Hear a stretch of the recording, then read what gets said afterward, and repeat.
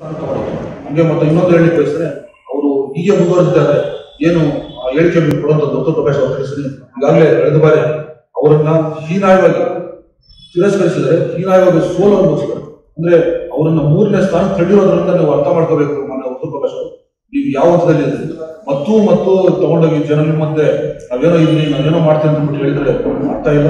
ನೀವು ಓದು ಕೂಡ ಮತ್ತೆ ಅದೇ ಓದು ಪ್ರಕಾಶ್ ಏನು ಬೇರೆ ಏನೋ ಅಲ್ಲ. ನೀವೇನು ಅನ್ನೋದನ್ನ ಹದಿನೈದು ಮೂರು ವರ್ಷ ಮಾಡಿದ್ರು. ಹದಿನಾಲ್ಕನೇ ವರ್ಷ ಹೊಸದಾಗಿ ನೋಡ್ಬೇಕಾಗಿ. ಹಾಗಾಗಿ ನಾವು ಹೇಳಿ ಬಯಸ್ತೀವಿ ಈ ತರದ್ದು ಮಾತುಗಳು ಹೇಳೋದ್ರಿಂದ ಮೂರನೇ ಸ್ಥಾನ ಅಲ್ಲ ನಾಲ್ಕನೇ ಸ್ಥಾನಕ್ಕೆ ಹೋಗುತ್ತೆ. ಕೊನೆ ಪಕ್ಷ ಮೂರನೇ ಸ್ಥಾನದಲ್ಲಿ ಉಳಿಸ್ಕೊಳ್ಳೋ ಪ್ರಯತ್ನ ಮಾಡಿ ಅಂತ ಹೇಳಿ. ಬಗ್ಗೆ ಮಾತಾಡಿ ಮಕ್ಕಳ ಬಗ್ಗೆ ಮಾತಾಡಿ ಬಗ್ಗೆ ಮಾತಾಡಿ, ಎಲ್ಲರೂ ರೈತರ ಸಮುದಾಯ ಕೋಳಿ ಮೈಸೂರು ಸಹ ಸಹ ರೈತರೇ. ವರ್ತೂರ್ ಪ್ರಕಾಶ್ ಅವರೇನು ಕೋಳಿ ಏನು ಮೇಯಿಸೋದಿಲ್ಲ ಕೋಳಿ ಮೇಲೆ ಒಗ್ಗಟ್ಟದವ್ರಿಗೆ, ಸ್ವಾಭಿಮಾನ ಹೆಚ್ಚಿರೋದಕ್ಕೆ ಯಾರಿಗೆ ಹಣ ಬಾಕಿ ಇಟ್ಕೊಂಡು ಊರು ಬಿಟ್ಟು ನಾಲ್ಕು ವರ್ಷ ಊರು ಬಿಟ್ಟು ನಾನು ಹೊಡಿತ ಮೇತ್ರಿ ಕೊತ್ತಂಬರಿ ಸೊಪ್ಪು ಬೆಳೆದಿ, ಆಲೂಗಡ್ಡೆ ಬೆಳೆದಿ, ಟೊಮೆಟೊ ಬೆಳೆದಿ ನಮ್ಮ ಭೂಮಿಗೆ ನಾವು ಬೆಳ್ಕೊಂಡು, ನಾವು ಸ್ವಾಭಿಮಾನದಿಂದ ಕೋಲಾರಲ್ಲಿ ತಲೆ ಎತ್ಕೊಂಡು, ಮೈ ತುಂಬ ಬಟ್ಟೆ ಹಾಕೊಂಡು ಸ್ವಾಭಿಮಾನದಿಂದ ನಾವು ಕೋಲಾರಲ್ಲಿ ಸ್ವಾಭಿಮಾನದಿಂದ ನಾವು ಕೋಲಾರಲ್ಲಿ ಓಡಾಡ ಥರ ನಾವು ಮೈ ಮೇಲೆ ಬಟ್ಟೆ ಇದೆ ಕಿಲೋಮೀಟರ್ ಗಟ್ಟಲೆ ನಡ್ಕೊಂಡು ರೋಡ್ ಬಂದಂತ ಜನ. ನೋಡಿ, ಯಾವುದೇ ನಾಯಕರಿಗೆ ಸಂಸ್ಕಾರ ಇರಬೇಕು ಆ ಸಂಸ್ಕಾರ ಇಲ್ದಿರೋಂಥ ನನಗೆ ಹಳೆ ಚಪ್ಪಲಿಗೆ ಸಮಾನ ಅಂತ ಹೇಳ್ತಾರೆ. ನಾವು ಕೋಲಾರಲ್ಲಿ ಓಡಾಡ ಥರ ನಾವು ಮೈ ಮೇಲೆ ಬಟ್ಟೆ ಇದೆ ಕಿಲೋಮೀಟರ್ ಗಟ್ಟಲೆ ನಡ್ಕೊಂಡು ರೋಡ್ ಬಂದಂತ ಜನ. ನೋಡಿ, ಯಾವುದೇ ನಾಯಕರಿಗೆ ಸಂಸ್ಕಾರ ಇರಬೇಕು ಆ ಸಂಸ್ಕಾರ ಇಲ್ದಿರೋಂಥ ನಾಲ್ಗೆ ಹಳೆ ಚಪ್ಪಲಿಗೆ ಸಮಾನ ಅಂತ ಹೇಳ್ತಾರೆ. ಓಡಾಟ ಅವ್ರ ತರ ನಾವು ಮೈ ಮೇಲೆ ಬಟ್ಟೆ ಇಲ್ಲದೆ ಕಿಲೋಮೀಟರ್ ಗಟ್ಟಲೆ ನಡ್ಕೊಂಡು ರೋಡ್ ಬಂದಂತ ಜನ. ನೋಡಿ, ಯಾವುದೇ ನಾಯಕರಿಗೆ ಸಂಸ್ಕಾರ ಇರಬೇಕು ಆ ಸಂಸ್ಕಾರ ಇಲ್ದಿರೋಂಥ ನಾಲ್ಗೆ ಹಳೆ ಚಪ್ಪಲಿಗೆ ಸಮಾನ ಅಂತ ಹೇಳ್ತಾರೆ. ಬಂಡವಾಳ ಹೂಡಿಕೆ ಜನಸಾಮಾನ್ಯರ ಮೇಲೆ ಬಂಡವಾಳ ಅದರಿಂದ ಗೆದ್ದು ಅದರ ಒಂದು ಒಂದು ಲಾಭ ಮಾಡುವ ನಿಟ್ಟಿನಲ್ಲಿ ಕ್ಷೇತ್ರದಲ್ಲಿ ಜಮೀನುಗಳನ್ನು ಒತ್ತುವರಿ ಮಾಡತಕ್ಕಂಥದ್ದು, ಗೋಮಾಳಗಳನ್ನ ಲೂಟಿ ಮಾಡುವಂಥದ್ದು, ಹಾಗೆ ಅಧಿಕಾರಿಗಳನ್ನು ಎದುರಿಸಿ ಅವರನ್ನು ಮಾಮೂಲಿ ತಗೊಂಡು ಕ್ಷೇತ್ರದ ಪ್ರಕಾಶ್ ಹೇಳ್ತಿದ್ದೀನಿ ನೀವು ಎರಡು ಸಾವಿರದ ಎಂಟು ಹದಿನೆಂಟು, ಎರಡು ಸಾವಿರದ ಹದಿನೆಂಟರ ನಂತರ ನಾಲ್ಕು ವರ್ಷ ಇದುವರೆಗೂ ಕ್ಷೇತ್ರದಲ್ಲಿ ನೀವು ಕಾಣಿಸ್ಕೊಳ್ಳುತ್ತಿಲ್ಲ ಅಂತ ಒಂದು ಸಂಕಷ್ಟದ ಪರಿಸ್ಥಿತಿಯಲ್ಲಿ, ಏನು ಕೋವಿಡ್ ಅಂತ ಒಂದು ಸಂಕ್ಷಿಪ್ತ ಸಂಕ್ಷಿಪ್ತ ಒಂದು ಸಂಕಷ್ಟದ ಪರಿಸ್ಥಿತಿಯಲ್ಲಿ ಜನರು ನರಳಾಡಿದ್ರು ಒಂದು ಔಷಧಿಗಳಿಲ್ಲದೆ ಸಾವನ್ನು ಅನುಭವಿಸಿದ್ರು ಬೆಡ್ ಸಿಗದೆ ನರಳಾಡಿದ್ರು ಅವ್ರು ಊಟ ಉಪಚಾರಗಳಿಲ್ಲದೆ ಊಟ ಸರಿಯಾದ ಸರಿಯಾದ ಸಮಯಕ್ಕೆ ಊಟ ಸಿಗದೆ ಸಂಕಷ್ಟ ಅನುಭವಿಸಿದ್ರು. ಆ ಸಮಯದಲ್ಲಿ ನಾವೆಲ್ಲ ಎಲ್ಲಿದ್ರಿ ಇಲ್ಲಿ ಹೋಗಿದ್ವಿ ಯಾರು ಆಶ್ರಯ ಕೊಟ್ಟಂಥದ್ದು.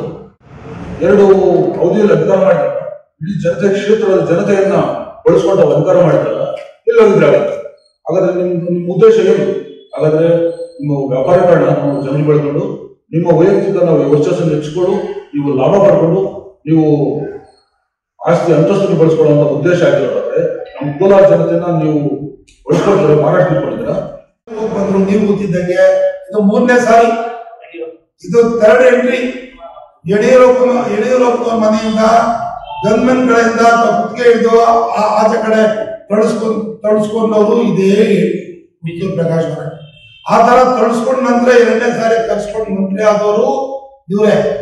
ಮತ್ತೆ ಅಲ್ಲಿ ಚೀತು ಅಂತ ಆಸ್ಕೊಂಡು ಪಕ್ಷದಿಂದ ಆಚೆ ಬಂದವರು ಇದೆ ಈಗ ಬಿಜೆಪಿ ಪಕ್ಷ ಅಧಿಕಾರ ಇದೆ. ಇವರ ಒಂದು ಗುರುಗಳು ನಮ್ಮ ಜಿಲ್ಲಾ ಉಸ್ತುವಾರಿಗಳು ಮತ್ತೆ ಸುಸ್ತುವಾರಿಗಳು.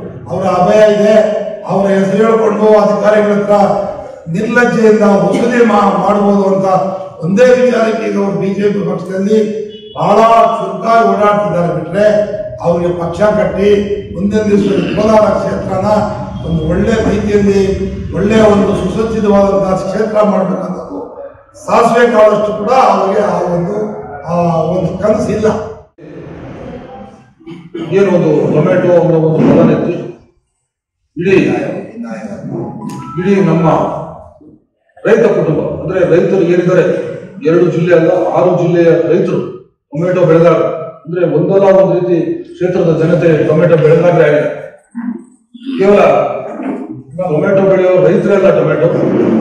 ಟೊಮೆಟೊ ಬೆಳೆದಂತ ರೈತರು ಮಾರಾಟಗಾರರಾಗಿರ್ತಾರೆ ಆಗಿರ್ತಾರೆ ಮಾರೋರು ಆಗಿರ್ತಾರೆ ಯಾಕಂದ್ರೆ ಸ್ವಂತ ಬೆಳೆ ಬೆಳೆದಂತ ಮಾರಾಟ ಮಾಡೋರು ಕ್ಷೇತ್ರದಲ್ಲಿ ಟೊಮೆಟೊ ಬೆಳೆಗಾರರು ಜೊತೆಗೆ ಬೆಳೆ ಆ ಬೆಳೆಗೆ ಬರ್ತಕ್ಕಂಥ ಬೆಳೆ ಮಾಡಲಿಕ್ಕೆ ಬರ್ತಕ್ಕಂಥ ಕೂಲಿಗಾರರು ನಂತರ ಅದನ್ನ ಬೆಳೆದಂತ ಒಂದು ಉತ್ಪನ್ನ ಮಾರ್ಕೆಟ್ ಸಾಗಾಣಿಕೆ ಮಾಡೋ ಸಾಗಾಣಿಕೆದಾರರು ಹಾಗೆ ಕೋಲಾರ ಬಂದಾದ್ಮೇಲೆ ಮಾರುಕಟ್ಟೆ ಬಂದಾದ್ಮೇಲೆ ಅದನ್ನ ಖರೀದಿ ಮಾಡ್ತಕ್ಕಂಥ ವ್ಯಾಪಾರಸ್ಥರು, ಅದನ್ನ ವಿಲೇವಾರಿ ಮಾಡ್ತಕ್ಕಂಥ ಕೂಲಿ ಕಾರ್ಮಿಕರು ಮತ್ತೆ ಇದರಿಂದ ಬೇರೆ ದೇಶದ ಬೇರೆ ರಾಜ್ಯದ ಸಾಗಾಣಿಕೆ ಮಾಡ್ತಕ್ಕಂಥ ಎಲ್ಲ ಏನು ಸಾಗಾಣಿಕೆದಾರರು?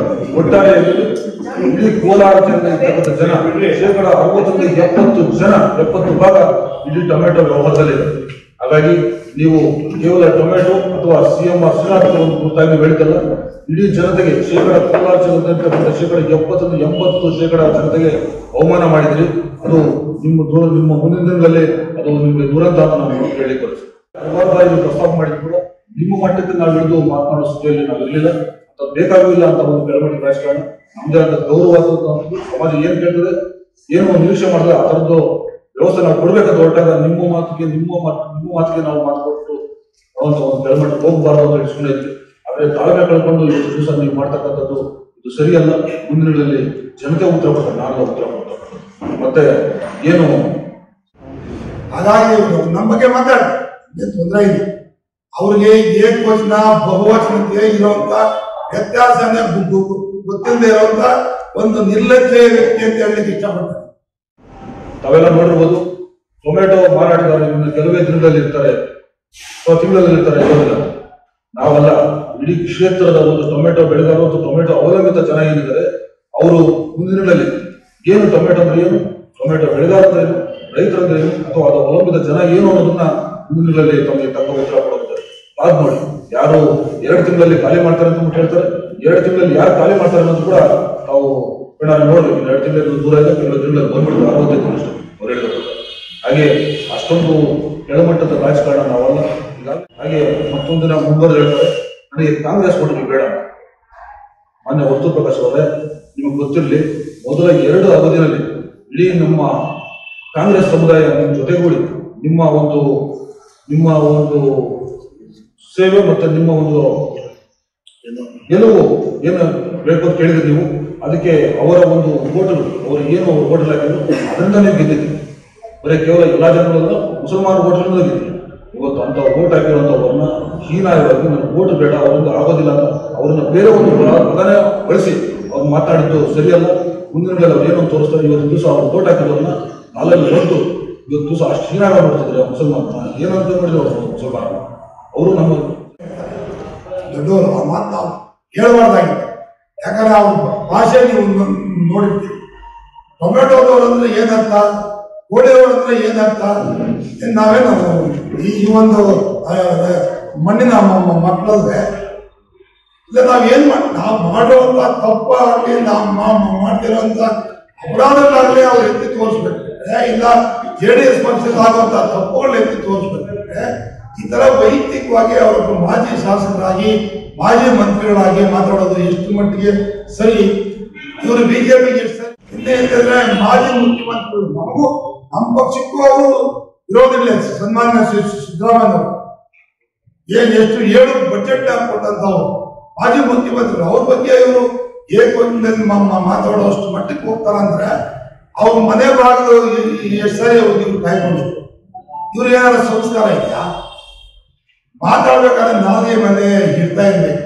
ಅವರು ಮಾಜಿ ಶಾಸಕರು ಜನಪ್ರತಿನಿಧಿ ಇದು ನಮ್ಮ ಇಡೀ ನಮ್ಮ ಕ್ಷೇತ್ರಕ್ಕೆ ಮಾಡ್- ಮಾಡ್ತಿರುವಂತ ಅವಮಾನ ಅಂತ ನಾನಂತೂ ನಿಮ್ಮ ಮುಂದೆ ಹೇಳಲಿಕ್ಕೆ ಇಷ್ಟಪಡ್ತೀನಿ.